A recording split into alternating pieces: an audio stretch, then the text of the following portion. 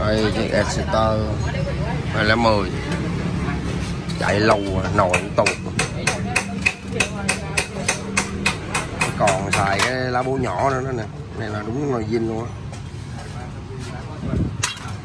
Còn lá bố nhỏ luôn nè. Bây giờ nó đá cho nó trường luôn à. Nó không bắt nữa. Đi lâu ngày quá nó chai bố nó sắc rồi. Đó, giờ mình sẽ mở ra tiến hành mình làm lại ha làm lại hết luôn. Làm xong rồi mình test cho anh em xem à, nó khác biệt như thế nào nha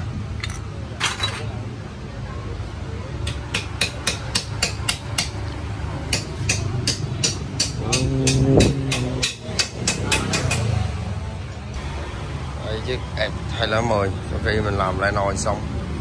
Bây giờ làm mình heo nè à, nó bố nó sắt và so nhôm xe này nó hư, cái bạc đạn trà mới thay luôn. Hai bạc đạn trà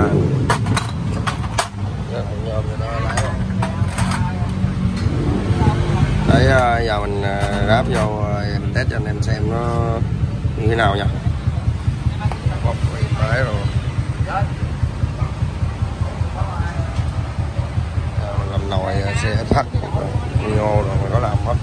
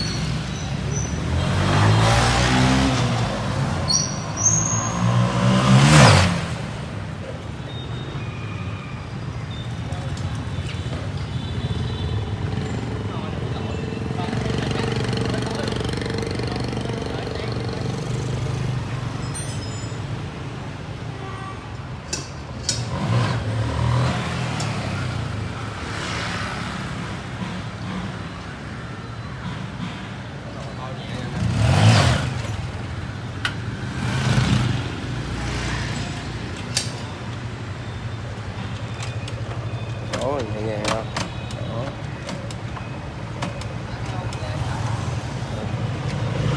Không vòng luôn.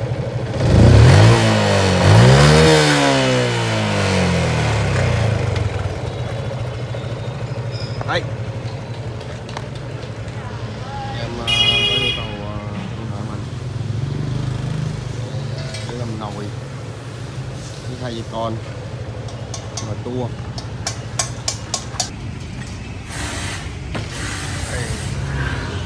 chiều bận rộn. Sắt một cặp luôn. Ẹt một cặp luôn.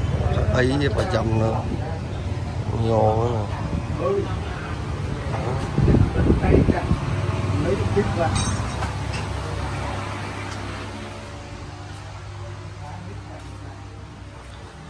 Đây là một ngày bận rộn.